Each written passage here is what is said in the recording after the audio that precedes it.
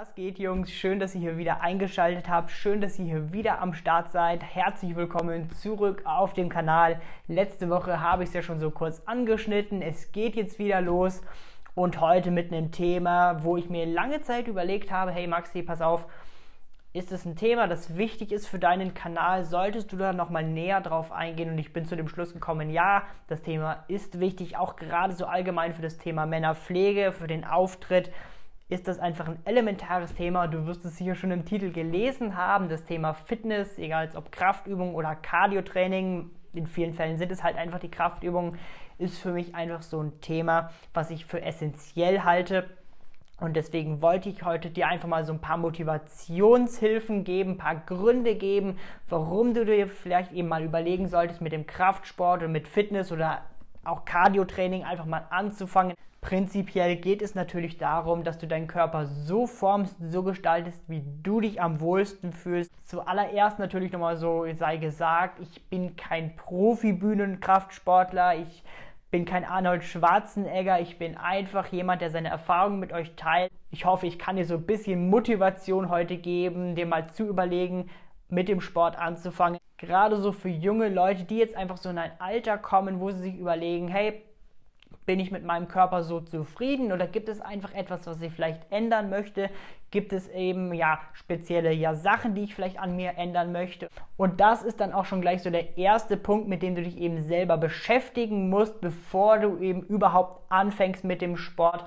Und hier ist jetzt egal, ob du ins Fitnessstudio gehst oder ob du deine Übungen zu Hause machst, denn wenn wir mal ehrlich sind, gerade so in Corona-Zeit hat jeder von uns gemerkt, dass man so die Basic-Übungen, essentielle Übungen, die wichtig sind, auch viel ja zu Hause machen kann. Wenn man jetzt zum Beispiel sich einfach zwei Handeln mit ein paar Gewichten kauft, damit du dich eben steigern kannst oder einfach eben vielleicht noch eine Stange dazu kaufst, kannst du so viel machen. Und selbst wenn du dir sagst, nö, ich möchte mir gar nichts kaufen, kannst du dir mit Wasserflaschen oder sonstigen einfach eher schwereren Gewichten auch viel basteln.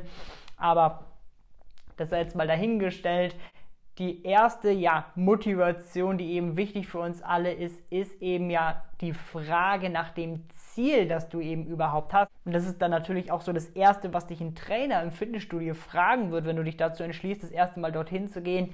Welches Ziel hast du denn überhaupt? Jeder von uns hat andere Ziele. Ich zum Beispiel bin das erste Mal ins Fitness gegangen, kam da gerade frisch aus dem Krankenhaus raus, wog 33 Kilo, das ist kein Scherz. Ich sah wirklich so schlimm aus. Also für mich, dass ich mich nicht getraut habe, in den Spiegel zu schauen. Ich habe immer so ein Handtuch vor den Spiegel eben gehalten, wenn ich aus der Dusche rauskam, damit ich mich nicht selber sehen muss. Und habe mich dazu dann eben einfach entschlossen, hey Junge, pass auf, willst du dir dein Leben lang das Handtuch vor den Spiegel halten oder willst du jetzt was an dir ändern? Und wenn du was ändern möchtest, dann tu es jetzt. Das Ziel, das du eben erreichen möchtest, egal ob du jetzt wie ich zunehmen willst oder ob du jetzt vielleicht eben ja einfach abnehmen willst oder ob du dir jetzt vielleicht sagst, nee, pass auf, ich will einfach an meiner Stärke arbeiten, ich möchte stärker werden, ich möchte viel drücken können, möchte mehr Kraft haben oder ob du dir eben sagst, pass auf, ich war gestern mit meinem kleinen Fifi draußen und habe nach zwei Schritten im Wald gemerkt, dass ich einen Herzinfarkt fast kriege, dass du vielleicht ein bisschen an deiner Cardio eben ja arbeiten möchtest, egal welches Ziel du hast, du wirst merken, das Ziel erfordert lange Arbeit. Das Ziel erfordert eben ja ein Durchhaltevermögen. Und dieses Durchhaltevermögen ist für mich so dieses Großartige, was dich eben so dieser Fitnesssport eben auch lehrt. Lange an einer Sache dran zu arbeiten. Auch, ja, mit der Erkenntnis, dass es die ersten Tage, die ersten Wochen, vielleicht auch Monate erstmal keine Fortschritte geben wird. Das werden alle von uns kennen, die vielleicht schon länger Sport machen. Wenn du das erste Mal anfängst, dann hast du nicht gleich solche Fortschritte, wo du eben gleich motiviert bist, weiterzumachen.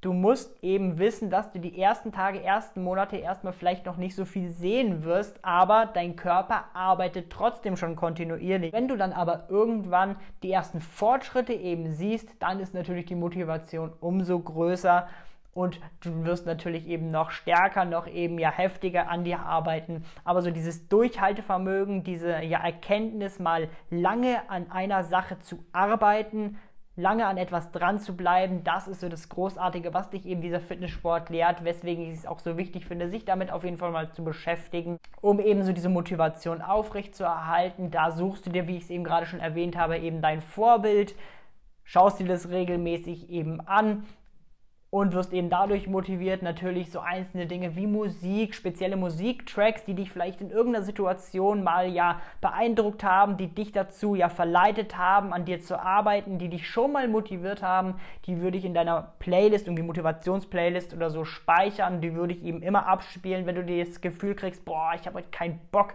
an mir zu arbeiten, ich habe heute keinen Bock zum Sport zu gehen, dann hau dir diese Musik rein, schau dir dein Vorbild an. Und auch ganz wichtig ist, egal ob du jetzt eben schon massive Fortschritte hast oder eben noch nicht, ich würde mir immer sagen, pass auf, ich habe dies und dies geschafft, zum Beispiel ich habe so und so viel zugenommen oder abgenommen, also wird es doch auch easy sein, eben dann die nächste Zahl eben abzunehmen. Zum Beispiel, du hast drei Kilo zugenommen, komm, dann schaffst du auch die vier. Du hast vier Kilo zugenommen, komm, dann schaffst du auch die fünf. Sowas zum Beispiel ist auch eben immer ganz gut, um sich selber eben zu motivieren. Natürlich auch eine Riesenmotivation, um mit dem Sport anzufangen und mit dem Fitness anzufangen, ist natürlich ja dein Wohlbefinden, denn jeder von uns wird eben merken, wenn er regelmäßig mit seinem Sport anfängt, wird sich das allgemeine Wohlbefinden natürlich eben verbessern. Du wirst dich stärker, fitter fühlen, bist besser gelaunt, aber ich kann jetzt auch mal so spezielle Situationen ansprechen, die ich eben einfach großartig finde. Zum Beispiel, wenn du jetzt vielleicht wie ich einfach so der bist, der ganz gerne morgens vor der Arbeit oder sonst wo trainieren geht oder vom, vor der Schule oder sonst wo trainieren geht, dann wirst du eben immer im Kopf haben, nachdem du dann eben trainiert hast oder bevor du eben zum Training gehen möchtest, ich habe oder werde jetzt schon für den ganzen Tag etwas für meinen Körper leisten, sodass mein Körper dann über den ganzen Tag dann schon für mich arbeiten wird. Wenn du jetzt eben vom Sport dann morgens kommst, hast du dann eben den ganzen Tag, wenn du dann eben dann zur Arbeit oder so gehst, hast du dann im Kopf, hey, ich habe heute schon richtig was geleistet für meinen Körper. Mein, ich habe heute so etwas geleistet, dass mein Körper jetzt für mich arbeitet, dass mein Körper jetzt richtig für mich schuftet. Und so dieses ja, Gefühl im Kopf zu haben, mein Körper schuftet gerade, mein Körper arbeitet gerade für mich, mein Körper verändert sich jetzt gerade, weil ich heute schon etwas ja, gemacht habe. Das über den ganzen Tag finde ich ein großartiges Gefühl. Aber natürlich auch für die Abend, ja, Trainierenden ist es ja eigentlich das Gleiche, wenn du abends deine Übungen machst, abends richtig dich auspowerst und dann eben dann noch danach was isst und dann eben schlafen gehst hast du natürlich auch das gleiche Gefühl, dann ein schönes Gefühl, wenn du pennen gehst, aber vor allem dann auch das Aufstehgefühl ist auch sehr, sehr schön. Dann nach dem Aufstehen kannst du dir immer in den Kopf rufen, hey, ich habe gestern Abend richtig mich ausgepowert, richtig trainiert und jetzt schuftet mein Körper für mich, jetzt arbeitet mein Körper für mich, weil ich eben was geleistet habe. Das sind für mich so die Key-Momente, die ich sehr, sehr wichtig finde und die auch super, ja, eine super Motivation sind und großartig, ja, sind damit du dein Ziel weiterhin verfolgst. Und sind auch so Momente und Wohlfühlmomente, die ich auf jeden Fall wichtig finde und die ich dir auch ja auf jeden Fall da empfehlen kann, dass du da mit dem Sport eben anfängst, weil du solche Momente auf jeden Fall auch erleben solltest und sie sollte jeder von uns eben eben auch erleben. Natürlich dann auch so generelle Punkte wie die Ernährung. Ich denke, jeder, der ein Ziel hat, wird sich im Klaren sein, dass er für dieses Ziel dann eben auch passend die Ernährung gestalten muss. Für mich so allgemein dieses Ernährungsthema sorgt natürlich zum einen dafür, dass du dich auch natürlich über die Zeit hin viel wohler fühlen wirst, gesünder fühlen wirst, aktiver fühlen wirst.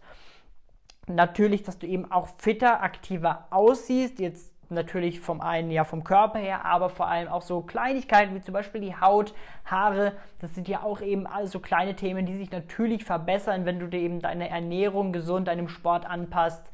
Auch so ein Thema, was ich großartig finde und auch so eine Motivation, die auch dafür eben ja für diesen Sport ist, warum du auf jeden Fall damit anfangen solltest. Also auch so ein Motivationsgrund, ja, um mit dem Sport anzufangen, ist einfach so, ja, dein gesamtes Erscheinungsbild wird sich automatisch eben in allen Lagen eben verbessern, wenn du eben damit anfängst, wenn du das komplett durchziehst. Ich denke mal, auch so eine ja, große Motivation ist natürlich so die Zukunft, denn ja, natürlich, wenn du dir jetzt zum Beispiel sagst, du bist sehr, sehr, sehr untergewichtig, wie ich zum Beispiel, oder du bist jetzt halt vielleicht etwas eher übergewichtiger. Natürlich, jeder, ne, es steht jedem frei, sich selber zu sagen, ich fühle mich in meiner momentanen Situation pudelwohl, braucht da nichts zu verändern, aber natürlich sollte man auch immer oder finde ich es eigentlich immer ganz gut, auch so ein bisschen in die Zukunft zu schauen und zu gucken, hey, wenn ich so und so jetzt weitermache, was kann passieren? Welche Risiken sind dann eben höher als bei anderen? Da brauche ich jetzt, glaube ich, nicht weiterzumachen, dass jetzt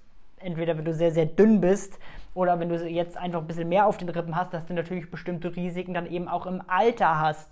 Und das ist eben auch so eben so eine große Mo und das ist natürlich auch eben immer so eine große Motivation, sich zu sagen, hey, pass auf, ich möchte, wenn ich jetzt zum Beispiel eben ins Alter komme und wenn ich vielleicht mal in eine Zeit komme, wo ich eben nicht mehr arbeiten muss oder so und wenn ich mehr Freizeit habe und wenn ich mir da eben sage, hey, ich möchte auch in dieser Zeit fit sein, ich möchte nicht viele Wehwehchen haben, ich möchte nicht irgendwie wegen ja, verschiedenen Problemen eben immer ins Krankenhaus müssen oder möchte eben auch noch länger leben, vielleicht auch so ein Punkt. Aber vor allem, ich möchte eben auch im Alter eben ja noch fit und vital sein, alles eben ohne Probleme machen können. Dann ist das natürlich eben auch ja so ein wichtiger Aspekt dass man sich da natürlich da zwangsläufig mit dem Sport eben, mit der Kräftigung eben beschäftigen muss, ist natürlich für mich eben auch immer so eine große Motivation, wenn ich mich eben äh, mal selber in ein spezielles Alter eben versetze und eben immer so vergleiche, was mache ich jetzt, wie bin ich jetzt drauf, welche Probleme habe ich jetzt und wie kann ich was eben dann verbessern, sodass das vielleicht in ein paar Jahren dann eben anders ist.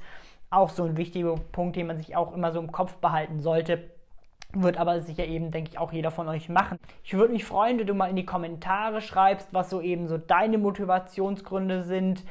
Bist du eher so der Typ, der sich sagt, hey, ich habe ein Vorbild und ich möchte so aussehen? Oder bist du halt eher der Typ, nee, ich möchte eher kräftig sein, ich möchte stark sein, ich möchte so und so viel stemmen können, ich möchte jede Woche eben, ja, eine Zahl eben auf meiner Stange eben haben an Gewichten, die sich eben kontinuierlich erhöht oder bist du einfach eben der, der sich sagt, nee, ich möchte so und so lange eben laufen können, ich möchte meine Cardio verbessern, ich möchte eben richtig, richtig fit sein, sodass ich eben beim Ironman mitmachen kann. Schreib mir da gerne mal in die Kommentare, was für deine Motivation ist. Ansonsten hoffe ich, dass dir dieses Video gefallen hat. Wenn es dir gefallen hat, dir die Nase hier vor der Kamera sympathisch war, lass mir gerne ein Abo da. Ich wünsche dir jetzt erstmal eine schöne Woche. Hab eine gute Zeit. Bis zum nächsten Video und ich hoffe, wir sehen uns auch nächstes Mal wieder. Ciao.